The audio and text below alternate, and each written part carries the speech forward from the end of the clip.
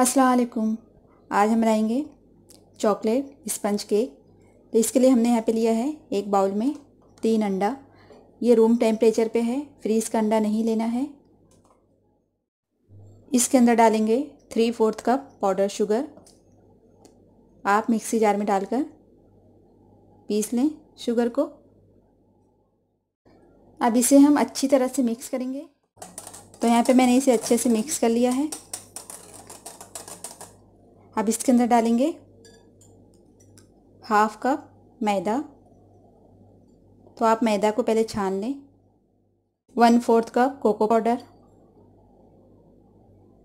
एक teaspoon baking powder. एक teaspoon vanilla essence.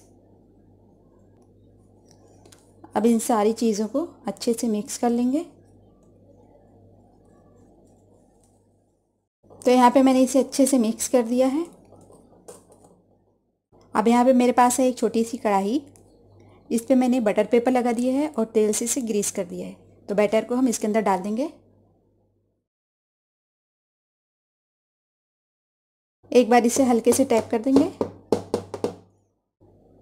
इसके ऊपर थोड़ा सा मैं डाली हूँ कटे हुए बादाम। ये ऑप्शनल है, आप चाहें तो डालें, नहीं तो स्किप कर दें। अब यहाँ पे मैंने पैन को गरम कर लिया है। दो से तीन मिनट। मीडियम हीट पर। अब इसके ऊपर हम केक वाली कढ़ाई रख देंगे।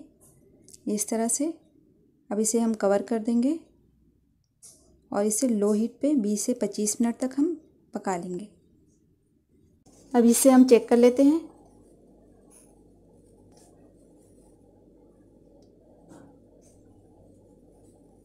टूथपिक एकदम क्लीन है तो ये हमारा केक हो गया है।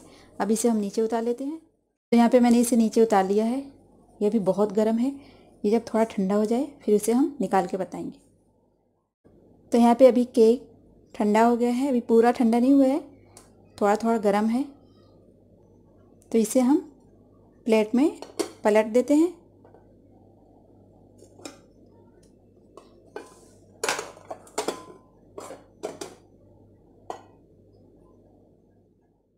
इसका बटर पेपर निकाल देंगे।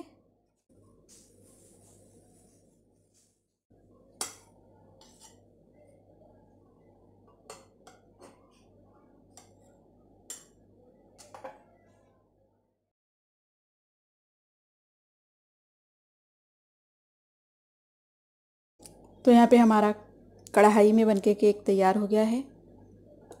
इसके मैंने पीस काट दिए हैं इस तरह से।